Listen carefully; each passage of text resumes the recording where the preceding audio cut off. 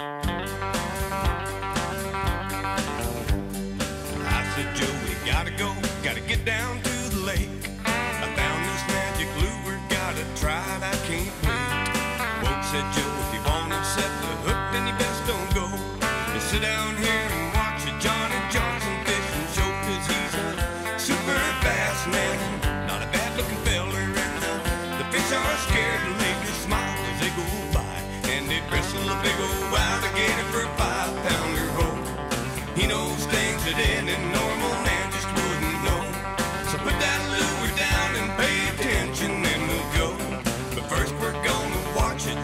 Johnson fishing show.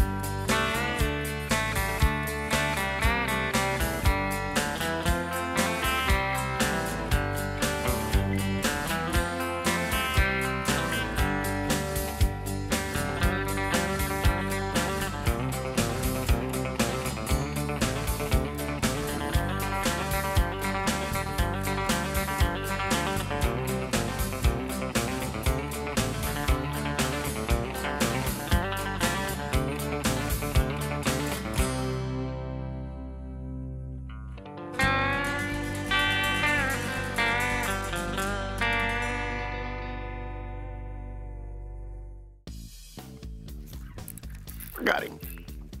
Oh, that's a nice one, dude. Come on, buddy. Little spinnerbait bass. All right, come on in here, son.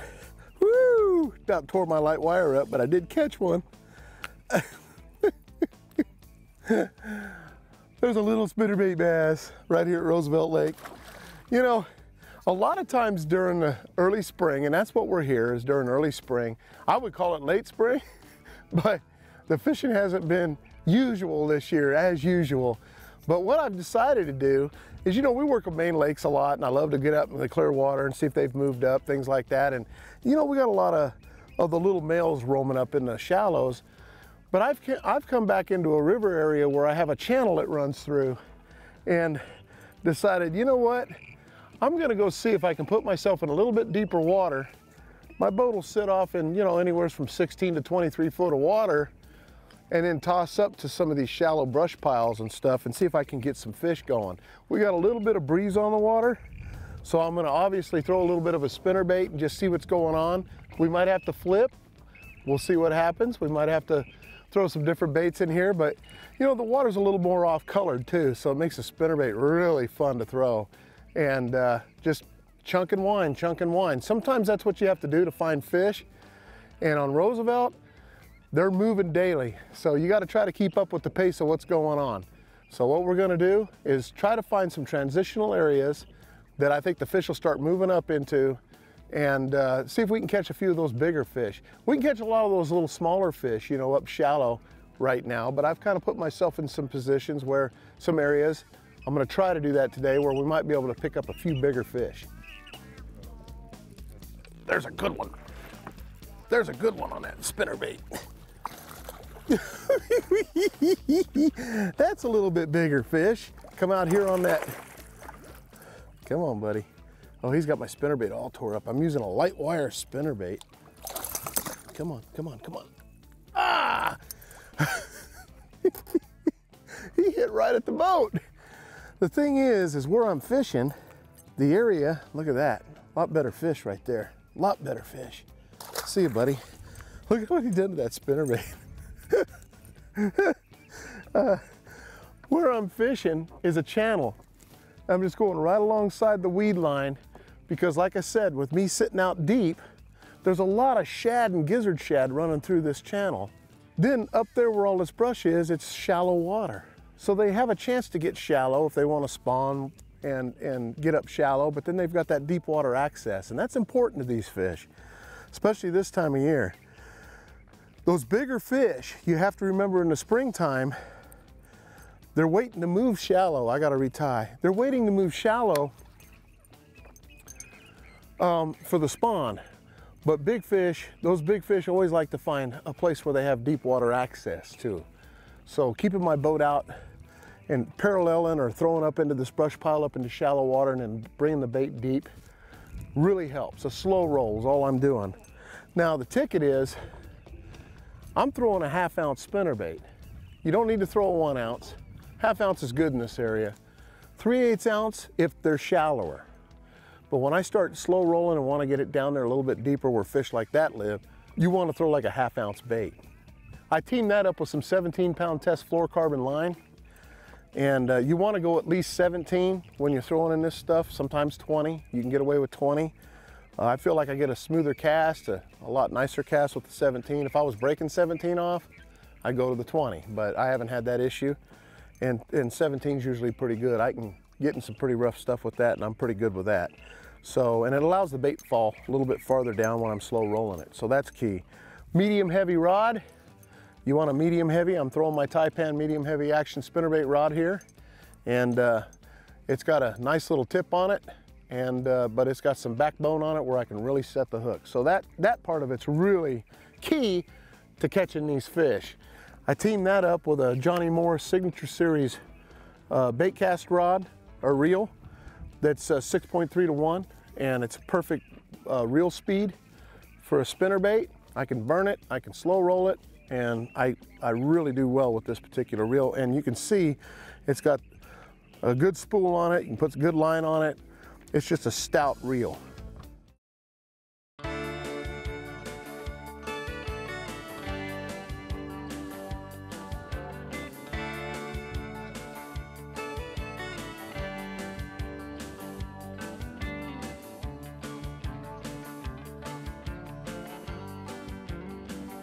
There's one. There's a good one. Slow rolling that thing off there. that was not a bad fish. We'll take him all day long. Look at that fish, folks. Come on, buddy. You're done. Come on. Come on. Gotcha. Nice. Little spinnery bass. Look at that.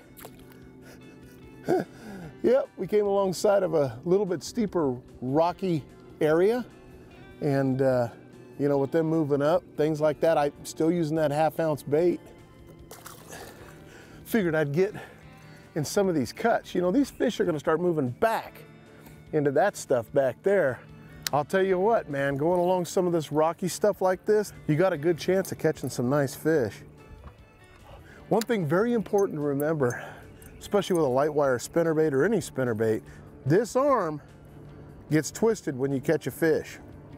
You want to make sure it's right over the hook and it's got to have that clothespin effect.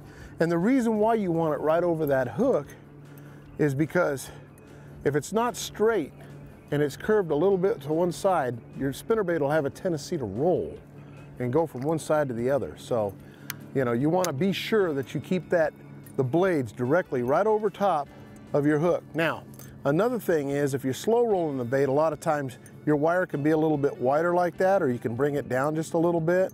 What happens is, is if you if you have your wire spread apart, if you try to fast retrieve it, it's going to roll as well. So you want to make sure that if you're if you're going to fast retrieve it, which we're not doing, we're slow rolling today, you can bring that wire down a little closer to the hook and it won't roll on you when you're, when you're speeding that bait through the water. If we were coming over the tops of trees and things like that, we'd wanna get that, the blades a little closer, but right there's a good, good looking bait. Just make sure it's not all bent up.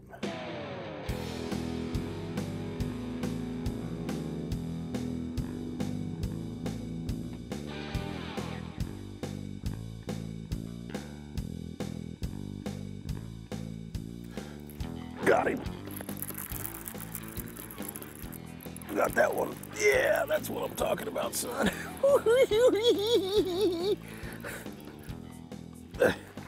Come on. Now that there is a little Ika bass. Look at that.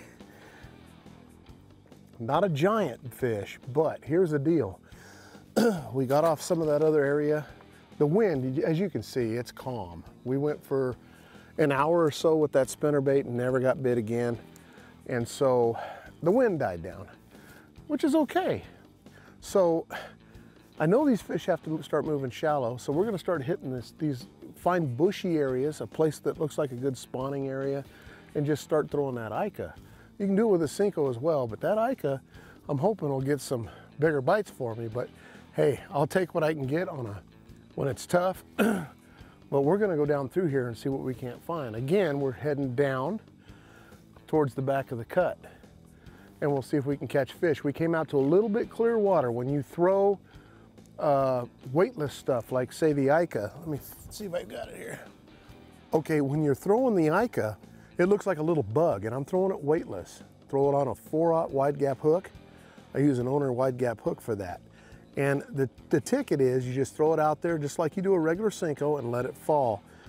And this little bait is small enough, but it's big uh, and thick. But boy, the fish just love these things. And I've caught a lot of fish on them. And a lot of people are throwing those Senkos and they work great. There's nothing wrong with those, but man, something just a little bit different sometimes. You can get that, that bigger bite. And so, I don't know, we're just trying to get bit right now and I know the fish are starting to move shallow. And I know a lot of little tiny guys are gonna be right on the shoreline, but I wanna fish some of this brushy stuff, see if something's out there, maybe we can catch something big there. Got him. Oh, he came off. Oh, he came off.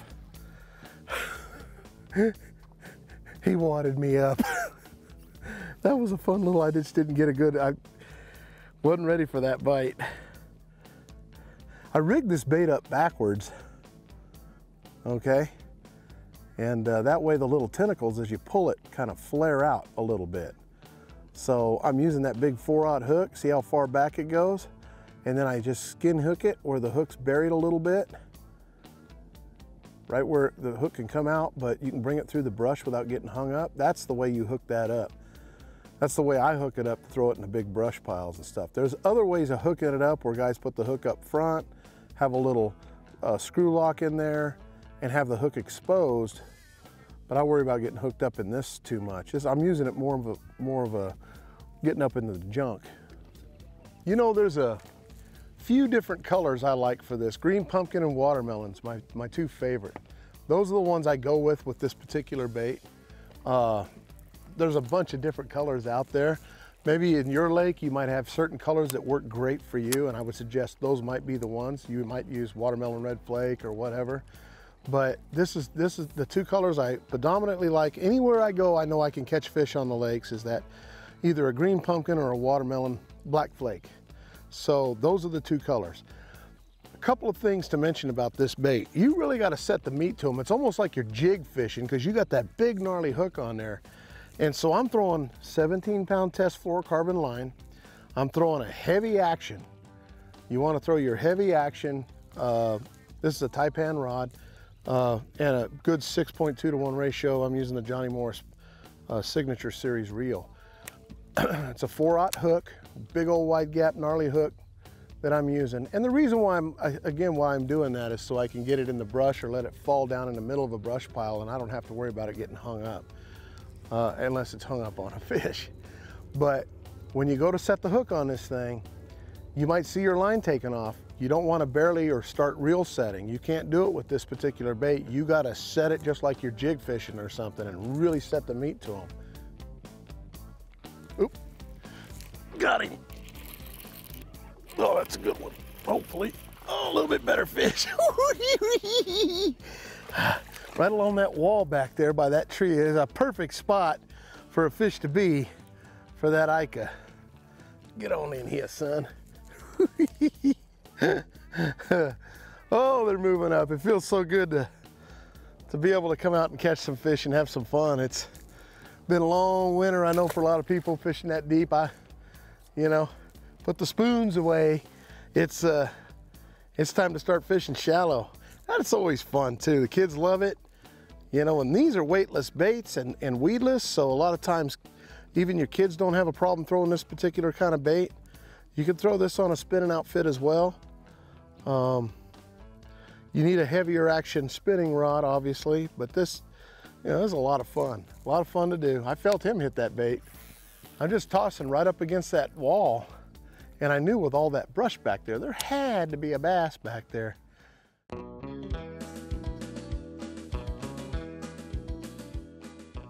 Hey folks, for my tip of the week, one thing really important, a lot of guys have a lot of different graphs on their, on their boat, and which is awesome. But when you're shallow fishing like this, if you really don't need your, your, your, all your graphs on, especially when you're eye visually seeing what's going on and you're fishing shallow water, you can eliminate a lot of the noise in your boat.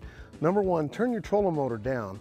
Number two, shut a few of your graphs off. The only one you really need is the one you're looking at, which is probably the, the front graph, so you know your depth and all that. But maybe having just one graph running, it really makes a difference. All that pinging down there spooks the fish. They get up here early in the season, and I'll tell you what, when you see them and you're trying to get on top of them and you got everything running, they hear that and it spooks them. And it could take you that much longer to catch the fish or you may not even get bit at all. So it's a great tip of the week put on to one graph. Sometimes if you can get by, I sometimes I shut them down if I'm real shallow and I'm, I'm bed fishing or something. But just moving in shallow in, in what we're doing, you really want to kind of shut everything down and maybe have one graph running and, and go that route. That'll help you. Great tip of the week.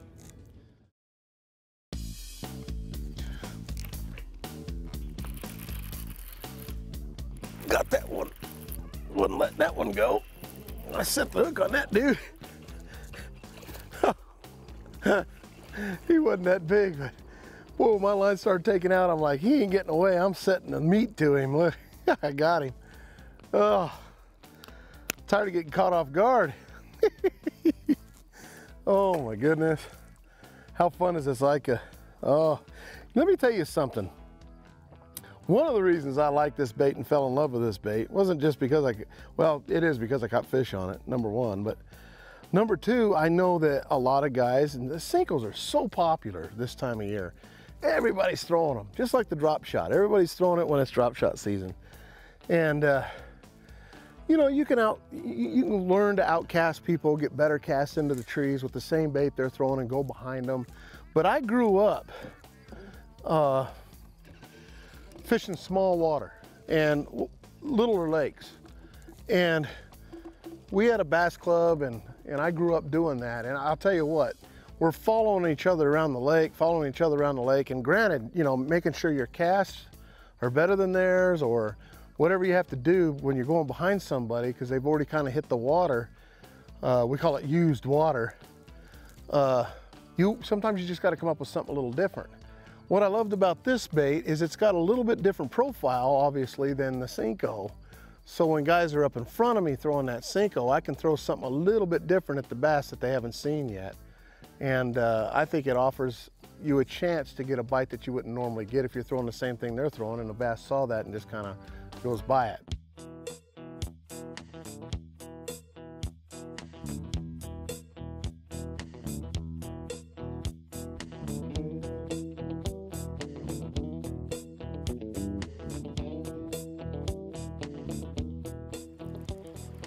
Oh, there's a good one.